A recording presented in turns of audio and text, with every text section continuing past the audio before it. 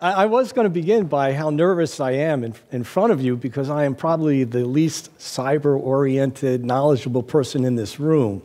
But um, in preparation for the talk, I, I began to do a lot of research in, in this area, and I got to speak to people in the military, I got to speak to people who worked in the NSA, um, and, and the more I learned, I, I, kind of came to this conclusion. I, I, call it an assumption. I'll explain that in a few minutes, but that. Um, when it comes to understanding this world of cybersecurity, uh, we're all novice. We're all novice. And the purpose of this convention or this, this uh, conference today is to really get you to think differently, is to kind of put you out there and to see what is happening today that is going to affect you tomorrow. And through this is you're going to make some decisions. You're going to make some very, very key decisions that you're making actually right now that are going to affect what happens the next day, the next day, five years, 10 days, uh, 10 years down the road. Now, let me explain a little what's going to happen because I've worked enough with very, very bright people, very talented people, uh, very senior people. And in these kind of conferences, this is some of the typical scenarios. First of all, there's some ideas that are very, very interesting very, very exciting, and you're starting to process them right now and you're going to get back to your office tomorrow, and you're going to get inundated with your regular work, and the aura of that idea is going to start to diminish. And then all of a sudden, you're going to start doing some thinking, and you're going to make some assumptions. And those assumptions are going to kind of sabotage you moving forward on the idea. Or maybe you come back and you're really excited about a new idea. You believe in some information that was conveyed today. You, it, it, just channeled some energy and some thinking in a direction that, wow, this is what I've been looking for. And you go back to the office and you start talking to some of your, your employees, or you start talking to some of your peers, and all of a sudden you get pushback from them. Because what are they doing? They're making assumptions as you start to talk. And let's act as barriers to keeping from where you want to go. Let me ask a question. How many of you have made an assumption in the past hour? Raise your hand if you made an assumption in the past hour. Oh, okay. Admirable. Terrific. Usually, when I talk in conferences, I get about four people that raise their hand. About four people that raise their hand. So, this is great. So, making assumption has nothing to do with your intelligence, your knowledge, or your experience. I, I don't mean to take away any of that from any of you because you're all really bright people here and you're very knowledgeable and you're very experienced in this field. But, but let, me, let me just show you examples. Um, anyone know this gentleman, Aron Ralston? Now, he's uh, famous because he was a hiker. He caught his arm between two rocks and he realized he will never he couldn't get it out so what did he do he had to cut his own arm off and what was one of his biggest concerns on the way to the hospital? One of his biggest fears? He didn't want to get a shot because he's afraid of needles. He's afraid of needles. This gentleman, Orville Wright, he was one of the two brothers that ushered in the age of aviation. Now, of course, the Brazilians might disagree with that. I don't know if you saw it on the Olympics. Oh, sorry. Sorry, Orville Wright. Um, so, you know, he and his brother ushered in the Asian, and they, and they, they, they built and they flew. I mean, this man was absolutely brilliant. And when it was suggested to him that, you know what, Orville, why don't we smooth out, kind of smooth out the runway? You know, we'll, we'll, we'll cover the debris you know, we'll cover the rocks, we'll cover the cow dung, we'll get, we'll get rid of that stuff. He said, if man had to pave the fly strip, he doesn't deserve to fly. Orville Wright, the inventor of aviation, dismissed the idea of the tarmac. Harry Houdini, the greatest escape artist in the world, nothing could hold him back. So one day, he's riding with his friend in a car. It was his friend, his wife was, uh, Harry was here, and his wife was over by the, the passenger door. And um, it's a new model car. Now, Harry Houdini, he, he was fairly successful and he had his own cars, but this was a new model car. And they're riding, and they pull up to the sidewalk, and the driver gets out and he walks out and he starts walking away. And he turns around. Where's Harry? Where's my wife? And he goes back to the car, and there is Harry Houdini stuck in the car. Harry Houdini couldn't figure out the configuration of the door handle. And even he said, You know, here I am, Harry Houdini. I can get out of any container, any weight, any size, anywhere in the world. But how do I get out of this damned car? One slight change in design stymied the master. Three talented, inquisitive people with guts to cut their arm these are people that we admire and we respect. And yet at the same time, they make assumptions which act as barriers to their own success.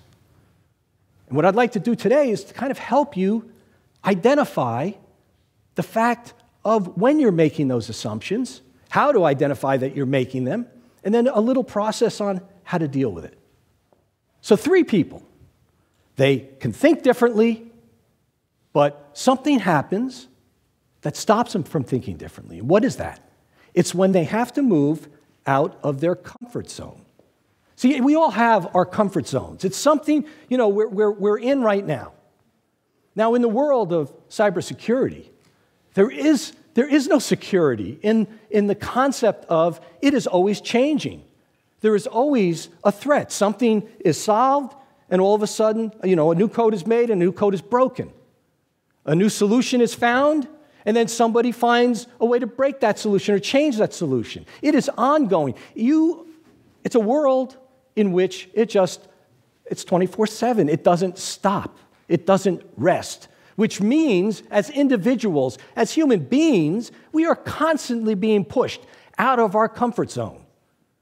And we're out of our comfort zone, it generates a bunch of different feelings. So, for example, we're dealing with the unknown uh, we move out of our comfort zone, we might be dealing with fear.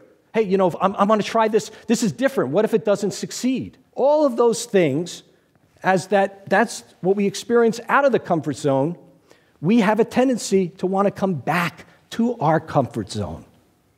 There's an anxiety that's created by these unknowns, by these fears. And what is it that we use to push ourselves back? We use our assumptions. Our assumptions. Now, this is a, a mind map created by Chris Argyris. He's a, he passed away, but he was a, one of the most famous management gurus at, um, at Harvard. And what he did is he decided let's, let's, let's map out how we think because thinking is invisible. So you start with selecting, oh, you have a pool of data, you select from that data, and you move up the ladder. In the middle of that ladder is the assumption. And the reason I show this is that I really want to emphasize the point that the assumption is a key component to every decision that we make. And so, if you judge yourself for making an assumption, and I know in the Army there's a, there's, a, there's a discipline for recognizing and dealing with assumptions, but even in that aspect, even when I've talked to people in the Army, there's a bunch of personal assumptions that we make along the way that drive this, that end up affecting ultimately the top of the ladder, the decision and the action that we take. I believe we should, or I don't use the word, but I believe that assumptions are neither good nor bad. We don't judge ourselves for making them. It's what we do with them that makes the difference. And by the way, it's a universal. It's a universal. I travel around the globe and I've dealt with all different countries and all different cultures, and the assumption pops up everywhere. It is a universal aspect. We all, it's just part of our behavior, it's part of our DNA. Now, um, I created this database, my company created this database called DAD. And the reason we call it DAD is that, um, well, first of all, you know the expression to assume is to make an ass out of you and me. You've heard that, right? Well, there's another one, which is the assumption is the mother of all, I'll say it politely, screw ups. The assumption is the mother of all screw ups. So we decided to create something called DAD, which is a dangerous assumption database. Because the first part is to recognize yes, you know what, I make assumptions, nothing wrong with that. I'm going to make assumptions hundreds of times a day. Today, you've made thousands of assumptions in listening to what people are saying And you, I want you to be aware that some of those assumptions may actually be barriers to actually changing. Some of them could be very productive in moving you forward. We're going to talk about that.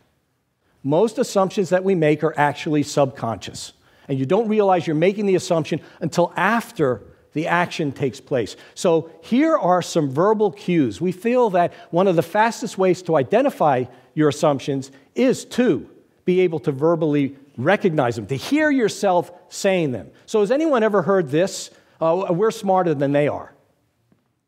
I, I, when I did my research in this area, I came across this a lot. There was, oh, we're, we're you know, and, and I hear this in companies all the time. Now, there is a practicality to it. Every company, every leader wants to believe my people are the best, my people are the smartest. But I have to tell you, if there's any industry that's going to challenge that assumption, it is in cybersecurity. Because as soon as you start feeling that you are the smartest, that's when you're really in trouble because there's going to be somebody who is smarter than you are. Another one, um, oh, I, I can't believe they don't get it. Now, this is an issue with, uh, particularly with engineers, coders, uh, because they tend to see, uh, well, not, not they, we all see the world through our eyes. We think that everybody thinks just like me. Right? I mean, that's kind of a silly thing to say, right? If you were to say, I think the world thinks like just like me, that's silly. But we do it. We see the world through our eyes. And because of that, we behave accordingly. So, for example, in engineering coding, a lot of times engineers get very upset when somebody doesn't understand what they're saying. They get frustrated. Don't they get it? Don't they understand it? What's wrong with them? And then you have the reverse. You have the leaders, the leaders saying, you know, it's fascinating because I'll meet with I'll meet with a group of leaders and then I'll meet with their team. And the leaders are saying, they don't get it. Just they, they don't understand. You know? And then I meet with the team and they're saying, the leader, he doesn't get it. He doesn't understand. So everybody sees it through that, through their own eyes. And that's, that's, a, that's a giant assumption. And when you say that, it's telling you to stop for a second hey, you know what? I'm making an assumption. We call it an assumpt. The recognition of making an assumption is called an assumpt. My assumpt is this. And that is a public announcement. It's also a kind of a personal announcement to yourself that you are now making an assumption. And it's very vital because it means that you can then talk to people in ways that you're not saying the sky is blue, my assumption is the sky is blue. And they have an opportunity to think about it. You have an opportunity to think about it and challenge it. Now, we know this, uh, this gentleman, Panetta, when he was uh, the defensive uh, Secretary of Defense, um, and he, you know, actually here in New York, and he introduced the concept of, or you know, he told uh, uh, Cyber Pearl Harbor. And all of a sudden, everybody, oh, Cyber Pearl Harbor. Now, I'm not diminishing the message behind Cyber Pearl Harbor. What I'm saying is that people could relate to cybersecurity very quickly by understanding this kind of metaphor that's being made because it's very easy to see through their eyes. Everyone understands Pearl Harbor, what happened, the, the, the, difficulties, the damages, you know, a surprise attack, all of that they understand. They see it through their eyes. So I was a little concerned about that because I thought, you know, in business, particularly in business, businesses latch on to those big ideas, those big metaphors that they think they can manage. But what happens is then they start to making an assumption like, well, no one would ever do that. No one would ever do that. See, I think that's a big issue in, in um, cybersecurity because there's a feeling that something happens and it's disastrous, and then there's a part that says, well, okay, well, but they wouldn't do that. And that's exactly what ends up happening. So I was in uh, Brazil, and uh, in Brazil, and in Brazil, um, this is, uh, I was driving with a, a, client of mine, and uh, he was driving, and we pull into what I thought was a, a, parking lot because there was a guy outside waving a flag. Uh, they're called uh, flanelinhas, flanelinhas, waving a flag, and they're usually fl- flannel. Uh, that's what gives them their names. And you pull into the lot and you pay them money. And I saw that's kind of interesting. And I looked around to see where the pay station was or whatever, and there was no pay station. And so um, I said to him, what, you gave money, do you get a ticket like for the car or something? He says, No, no, no, no. You pay because they're ransoming. It's a ransom. If you don't pay them, then they key your car, you know, take the key and they scratch the car, or they deflate the tires. Ransom. And I said, Ransom? That's, that's insane. And then I thought about parking a car in New York and how much you have to pay, and I no, maybe it's not that crazy, but, but the concept was pretty crazy. And then when I talked to, to Natalie, she told me the same thing happened in Italy, and, and she said, that's weird. See, the idea is we, we see the world through our eyes, we see the world through our culture.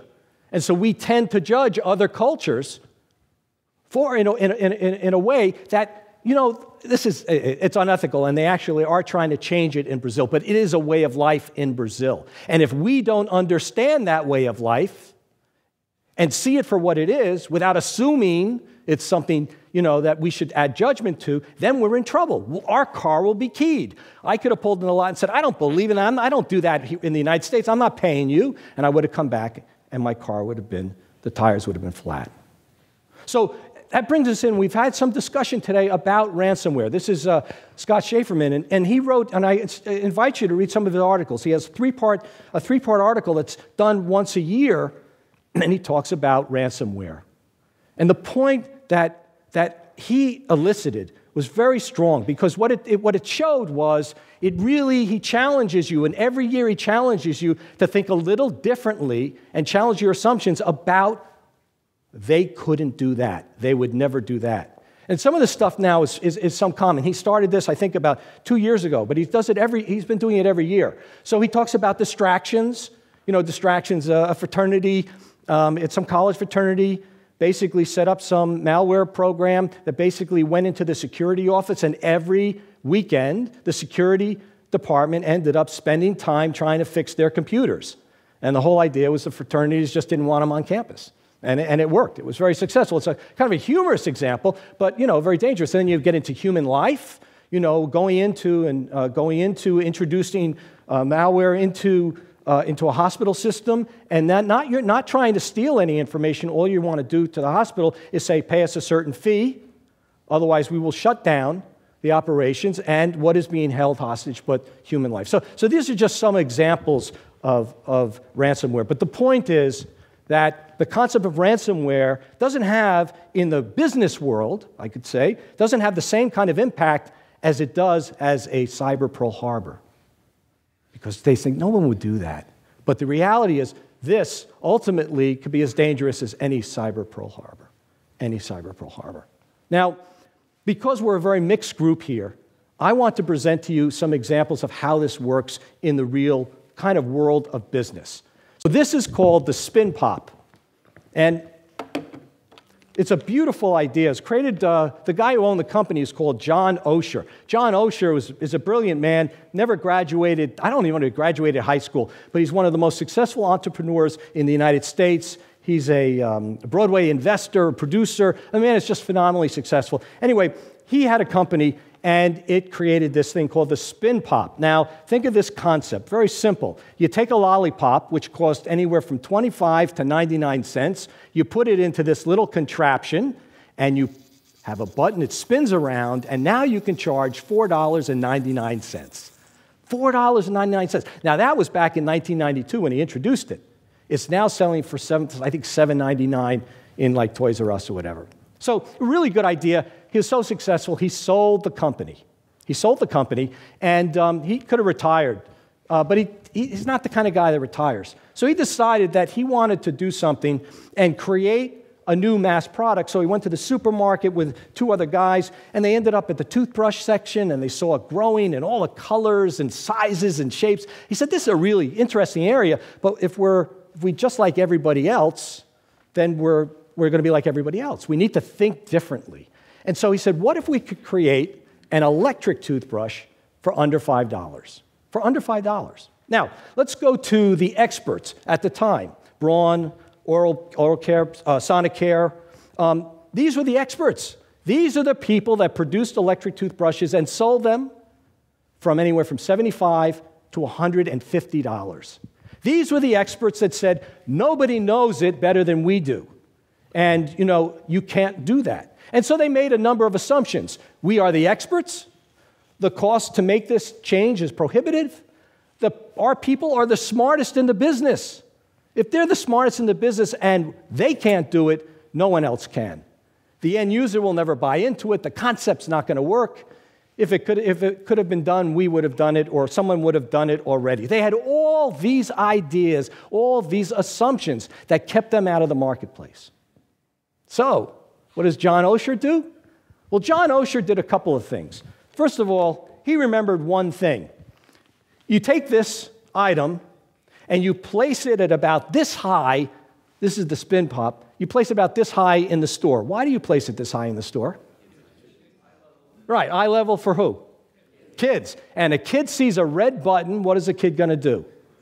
He's going to press it, that's right. And when he presses it, what is he going to say to his parents? You got it. There you go. So he looked at this and said, I have a battery, uh, I got torque, uh, I, you know, I just have to kind of add some waterproofing, add some power, add the extend the battery. And so that's exactly what he did.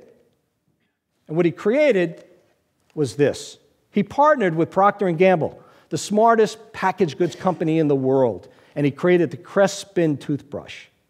The Crestspin toothbrush. Now, I just wanted to show you. So he challenged all the assumptions, right? He looked at what he had, he challenged the assumptions of the expert, and he created something brand new that didn't exist before. But even Procter & Gamble, the smartest marketer, one of the smartest in the world, they said to him, "You know, we're ready to roll this out. Here's your TV campaign." And he said, What TV campaign? Why are you spending money on TV? They said, Well, we know what we're doing. This is what we do. We spend money on television. This is how we promote. This is how we create. And, and he said, Wait a minute, wait a minute. We already have our advertising.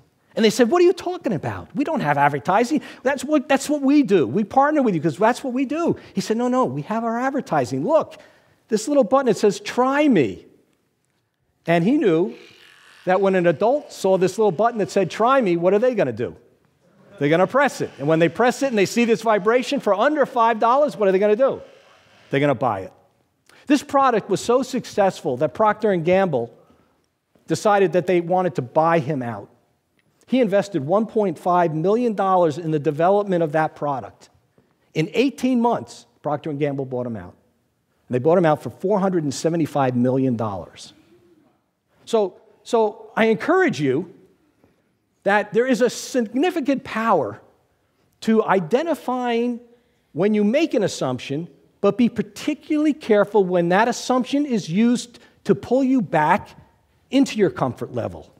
Hold on to that assumption, stay out there in that uncomfortable zone, and then start to play with that assumption. I'm going to give you just five easy or four easy steps. When that point of making assumptions. So the first part is that you want to accept that you're making the assumption, no judgment. I think most of you here, by raising your hand, you already, you're already at that kind of awareness level. But believe it or not, I, a lot of people in this world are not at that level. Now, once you, once you acknowledge that you make assumptions, then what you want to do is you want to surface that assumption. That's when you turn it into an assumption. And you want to look for those verbal cues. You want to look, you know, there's we have a whole database of these, of these uh, cues, the verbal cues, and we're collecting them, and we're doing them by leadership and marketing and sales. We're starting now to collect them in cybersecurity. And then you have two decisions to make. First is you can decide to invest in that assumption and leave it what I call unchecked. Just go with it. Or you can do what John Osher did, and he decided to challenge it. He decided to check those industry assumptions and then he decided not just to consider them, to reflect on them, which is okay, but he decided to reject them. And in rejecting them, he was able to create something new that hadn't existed before. And I believe in cybersecurity, that is really part of the onus that's on you all the time. Creating something that didn't exist before. And boy, that is really hard because as soon as you create it, you have to create the next thing, and then the next thing, and the next thing, and the next thing. So, in conclusion, or before I get to my conclusion, I'd like to thank all of you for your time. It's been a long day. I see many of you taking notes and some photographs and so forth. So, thank you very much. And I, I thank the, the Army Cyber Institute for inviting me. And what I'd like to do is um, I do have a, I have to say, I'm like a proud parent. We have a new book that just came out Challenge Your Assumptions, uh, uh, Change Your World. And um, I invite you, we have, we're actually doing a little bit of a special promotion. We're going to do it uh, in about two or three weeks. Uh, a special price for the, for the book and so forth. So uh, here's my contact information up there email, LinkedIn. If you're interested, uh, just let me know and I'll send you a link to the. Uh, uh, to, to, to, ordering at a, at a very, very, very special price. So let me do something in conclusion. Uh, I'm going to, I have a great uncle, and he was a magician. So I want to conclude by ending with a, a, little magic trick in, that I think you might like. Uh, and what I'm going to do is I'm going to make this Coke bottle disappear. Watch. Pay very close attention. It happens really quickly. Ah, look at that. Oh, you, I'll do it again for you. Okay, good. All right, make this Coke bottle. Going to make it disappear. Now, I know what all of you are doing right now. You're making an assumption. You're assuming that I am, excuse me, that I'm holding the Coke bottle. Excuse me.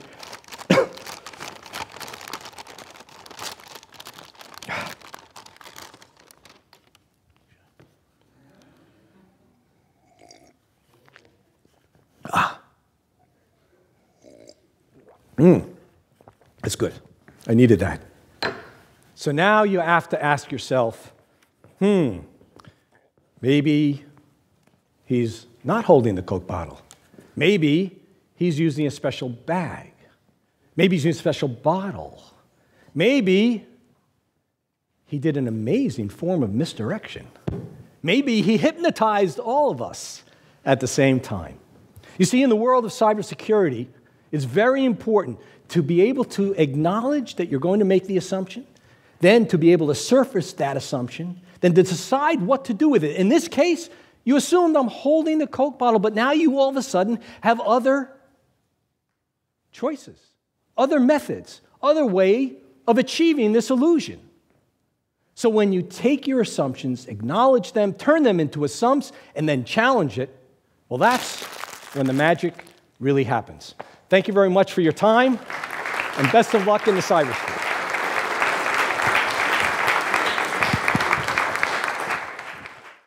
I know you said that you're a uh, newcomer to cybersecurity, but do you see any assumptions in the uh, oh, industry? Oh, yeah. Well, oh, oh, I, I, see a lot of a lot of assumptions. Uh, so I see assumptions in uh, I see in, in in well from all ends, from the coding end to to the leadership end.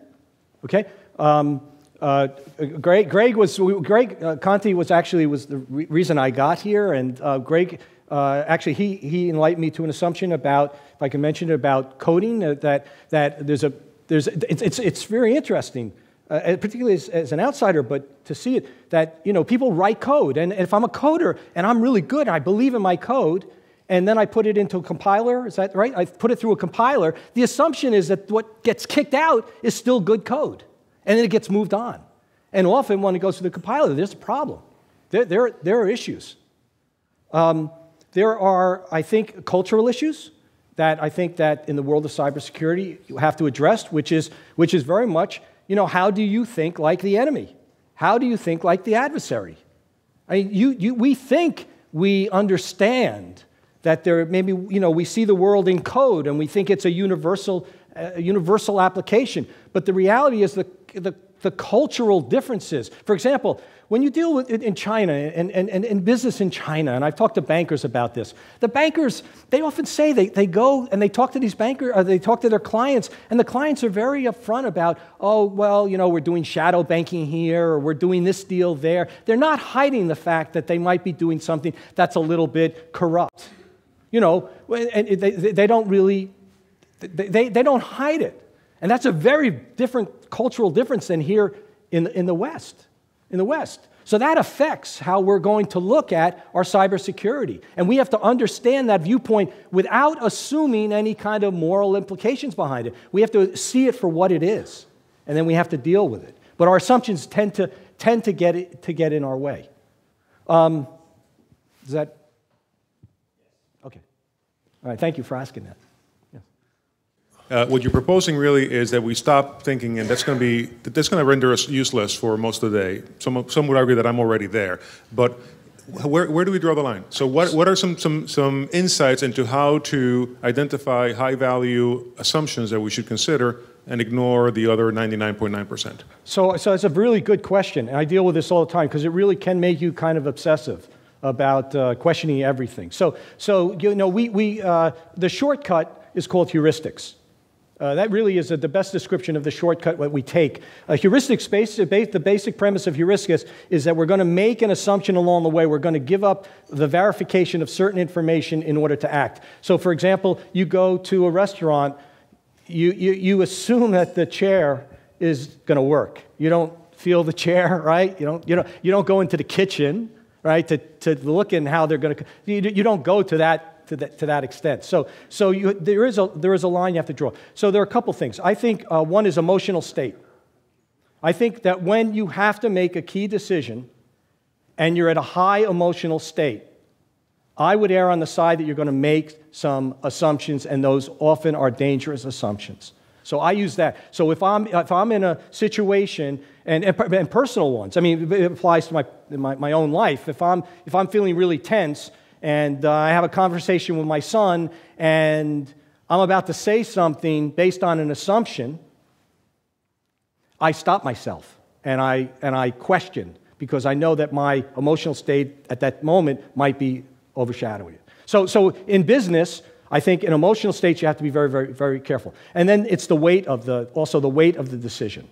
So if the decision is you're talking about a multi-billion dollar decision and you better spend the time uh, trying to uh, raise those awareness. So, for example, I spoke to a CEO uh, dealing in the area of compliance at a bank and dealing in compliance. And, you know, com- uh, compliance, there's a certain parallel between cybersecurity and compliance because there's all these rules that are being made at made every, every hour they're remaking the rules and so forth and she said something very interesting she said when she's at a, a, meeting with her senior people and she feels she needs to support her senior people if they present an idea to her and her assumption is it's a bad idea. It's not going to work. It's not worth the time. It's too expensive. She will say to that person, This is my assumption. This is how I see it. But you know what? Let's, let's try it out. Let's see where it goes. So that's another way that she, she weighs it. So there isn't, I, I wish there was a ABC that we could follow, but but there really isn't. But the emotional state, the weight of the, the weight of the decision in terms of the outcome, what the outcome is going to be, uh, to, uh, does it. But on the same side, I have to say that there are certain deci- outcomes, there are certain assumptions that are made within business that are very minor that end up costing a business huge money. That's why I was kind of talking about ransomware. Ransomware could be somebody who's being blackmailed in an organization and they're spending millions of dollars on cybersecurity trying to protect the system and this one person goes in and is being blackmailed. Somebody found information. It had nothing to do with encryption. They just found information on this person they don't want to reveal. So they blackmail this person. This person ends up going in and stealing secrets. So, okay, thank you for that question.